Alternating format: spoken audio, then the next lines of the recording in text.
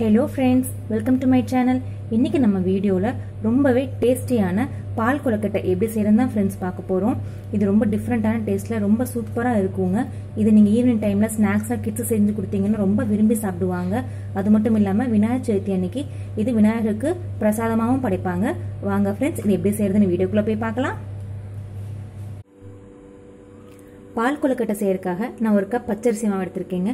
நீங்கள் இடியாப்ப மாவோ இல்லை கொழுக்கட்டை மாவோ எது வேணால் எடுத்துக்கலாம். எல்லாத்துலேயுமே பால் கொழுக்கட்டை நல்லா சூப்பராக வரும். நான் ஒரு பேனில் ரெண்டு கப் தண்ணி சேர்த்திருக்கேங்க. எந்த கப்பில் அரிசி மாவு வளர்ந்தனோ அதே கப்பில் ரெண்டு கப் தண்ணி சேர்த்திருக்கேன். அது கூட ஒரு ஸ்பூன் குக்கிங் ஆயில் சேர்த்திக்கோங்க. இந்த தண்ணி நல்லா பபிள்ஸ் வர அளவுக்கு கொதிக்க வச்சு எடுத்துக்கோங்க. தண்ணி நல்லா கொதிச்சிருச்சுங்க. அடுப்பை ஆஃப் பண்ணிடலாம். நம்ம எடுத்து வச்ச மாவை ஒரு பவுலில் சேர்த்திருங்க.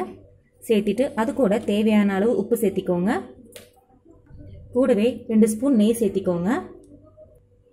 நீங்கள் நெய் சேர்த்தி மாவு பிசைஞ்சிங்கன்னா கொழுக்கட்டை ரொம்ப நல்லா சாஃப்டாக வருங்க. இதை நல்லா மிக்ஸ் பண்ணி எடுத்துக்கோங்க. இப்போ இந்த மாவு கூட நம்ம கொதிக்க வச்சுருக்கிற தண்ணியை கொஞ்சம் கொஞ்சமாக சேர்த்தி நல்லா கலந்து எடுத்துக்கோங்க. மாவு நல்லா சப்பாத்தி மாவு மாதிரி இருக்கணுங்க. அந்த பதத்துக்கு கலந்து எடுத்துக்கோங்க.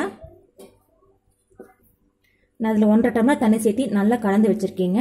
மாவு கொஞ்சம் ஆறட்டும். கை பொறுக்கிற சூடு வந்தோன்னே பிசைஞ்சு பார்த்துட்டு பத்தலைன்னா தண்ணி நம்ம சேர்த்திக்கலாம்.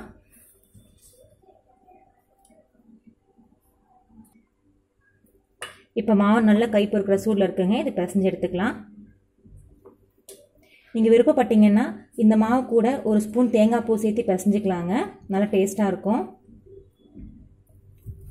தேங்காய் பூ நீங்கள் துருவி சேர்க்கும் போது நல்லா பெரிய பெரிய பூவாக இருக்கக்கூடாதுங்க. மிக்சியில் போட்டு பொடிச்சு சேர்த்திங்கன்னா உங்களுக்கு கரெக்டாக இருக்கும். இல்லைன்னா உருண்டை பிடிக்கும் போது அது உங்களுக்கு வெடிப்பு வரக்கான சான்சஸ் இருக்குது மாவு நல்லா பிசைஞ்சு எடுத்தாச்சுங்க. பாருங்கள் மாவு நல்லா இந்த மாதிரி சாஃப்டாக பிசைஞ்சு எடுத்துக்கணும். இதுதான் கையில் கொஞ்சம் நெய் தடவிட்டு மாவுலேருந்து சின்ன சின்ன உருண்டைகளாக எடுத்து நீங்கள் சின்ன சின்ன பால்ஸாக பிடிச்சி எடுத்துக்கலாங்க. உங்களுக்கு விருப்பப்பட்ட மாதிரி நீங்கள் சைஸில் பிடிச்சி எடுத்துக்கலாம். பால்ஸ் இல்லைங்க நீங்கள் எந்த ஷேப்பில் விருப்பப்பட்டீங்களோ நீட்டமானாலும் நீட்டமாக போட்டுக்கலாம். பாருங்கள் இந்த ஷேப்பில் பிடிச்சி எடுத்துக்கலாம். எல்லா மாவும் இதே மாதிரி பிடிச்சி எடுத்துக்கலாங்க.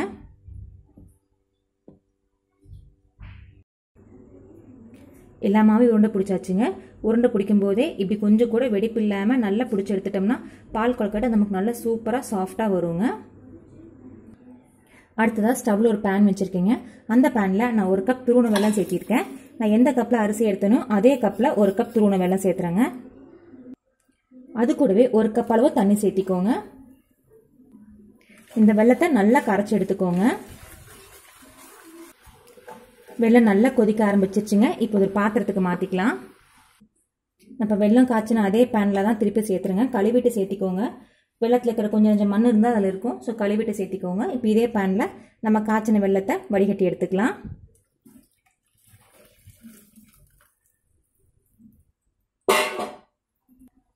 அடுத்ததாக ஒரு பேனில் ரெண்டு கப் தேங்காய் பால் சேர்த்திக்கிறாங்க. இது வந்து ரெண்டாவது பால் தின்னான பாலுங்க. நான் பார்த்தீங்கன்னா ரெண்டு கப்பும் தேங்காய் பாலே தான் சேர்த்துறேன். நீங்கள் விருப்பப்பட்ட ஒரு கப் பசும்பாலும் ஒரு கப் தேங்காய் பாலும் சேர்த்திக்கலாம். இது கூட ஒரு அரை கப் தண்ணி சேர்த்திக்கிறேங்க. இந்த தேங்காய் பால் நல்லா கொதிக்க ஆரம்பிக்கட்டும். பாருங்கள் தேங்காய் பால் கொதிக்க ஆரம்பிக்குது. இப்போ அடுப்பை சிம்மில் வச்சுட்டு இது கூட நம்ம பிடிச்சி வச்சுருந்த அந்த கொழுக்கட்டையை ஒவ்வொன்றா சேர்த்திக்கலாங்க.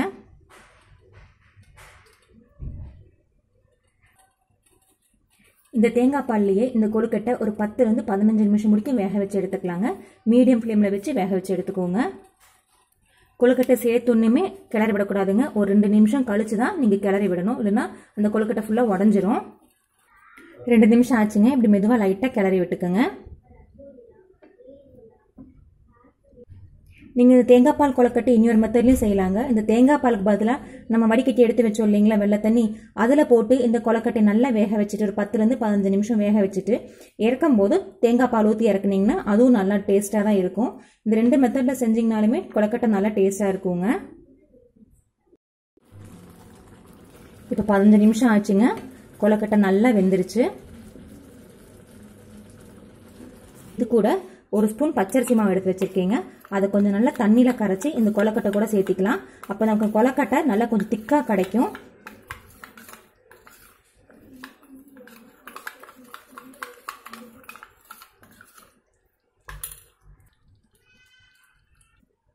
நம்ம அந்த பச்சரிசி மாவை கரைச்சி சேர்த்துலன்னா பார்த்தீங்கன்னா வெள்ளம் சேர்த்ததுக்கப்புறம் ரொம்ப நீரோட்டம் ஆயிருங்க. அந்த திக்னஸ் வராது.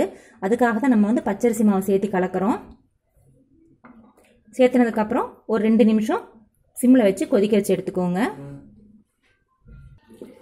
ரெண்டு நிமிஷம் நல்லா கொதிச்சு இப்போ இது திக்காயிடுச்சுங்க மாவு சேர்த்ததுக்கப்புறம் இது கூட நம்ம கரைச்சி வச்சுருக்கிற வெள்ளத்தை சேர்த்திக்கலாம்.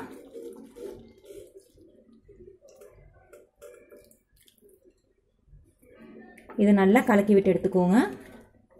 வெள்ளம் சேர்த்ததுக்கு அப்புறமும் மீடியம் ஃப்ளேமில் வச்சு ஒரு ரெண்டு நிமிஷம் நல்லா கொதிக்க விட்டு எடுத்துக்கோங்க. அதே ஒரு அரை ஸ்பூன் ஏலக்காய் தூள் சேர்த்திக்கோங்க.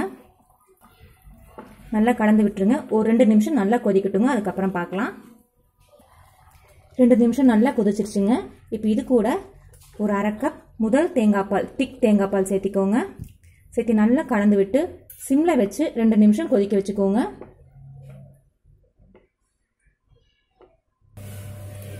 இப்போ தேங்காய் பால் சேர்த்து ரெண்டு நிமிஷம் ஆச்சுங்க. லைட்டாக கொதி வர ஆரம்பிச்சிருச்சு. இப்போ இந்த ஸ்டேஜில் நம்ம அடுப்பு ஆஃப் பண்ணி இறக்கிடலாங்க. இறக்குறதுக்கு முன்னாடி நெய்யில் வறுத்த தேங்காய் பூ ரெண்டு ஸ்பூன் இதில் சேர்த்திக்கோங்க. சேர்த்து நல்லா கிளறி விட்டதுக்கப்புறம் இறக்கிடுங்க. ரொம்பவே சுவையான பால் கொழுக்கட்டை ரெடிங்க ஃப்ரெண்ட்ஸ் நீங்களும் இந்த ரெசிபியை ட்ரை பண்ணி பாருங்கள் ட்ரை பண்ணி பார்த்துட்டு உங்கள் கமெண்ட்ஸில் சொல்லுங்கள் உங்களுக்கு இந்த வீடியோ பிடிச்சிருந்தா நம்ம சேனலுக்கு சப்ஸ்கிரைப் பண்ணுங்கள் லைக் பண்ணுங்கள் மறக்காமல் ஷேர் பண்ணுங்கள் தேங்க்யூ